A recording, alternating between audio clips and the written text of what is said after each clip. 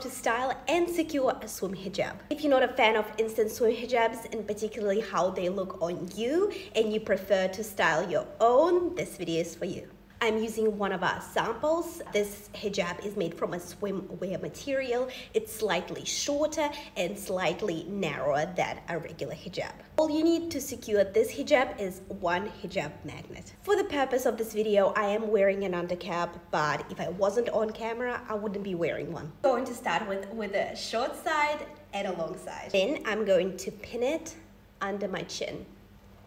The hijab is very stretchy, so it takes the shape of your face. I am just tucking the short side into my swimsuit. Then I'm gonna go and zip it up. I'm going to wrap the long side around my neck. We end up with the short end right here. All I did is tucked it in.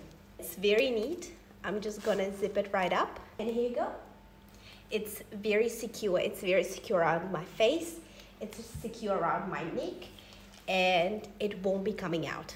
Put this style to the test. Here's the footage of me diving into the pool.